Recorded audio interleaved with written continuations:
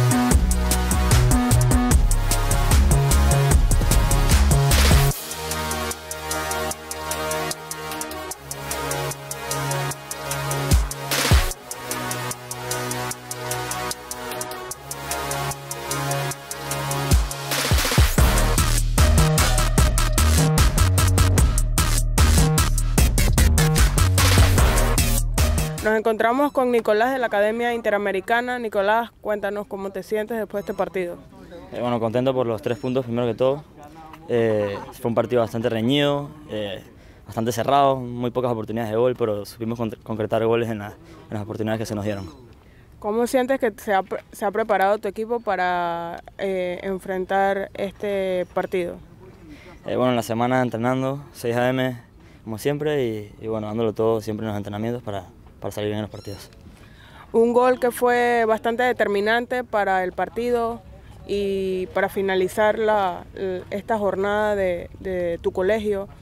Eh, ¿A quién se lo dedicas? Eh, bueno, sí, fue un juego para cerrar, o sea, el gol cayó en, en los últimos momentos. Eh, obviamente, o sea, eso es no mío, sino del equipo, y se lo dedico a mi familia y a mi novia.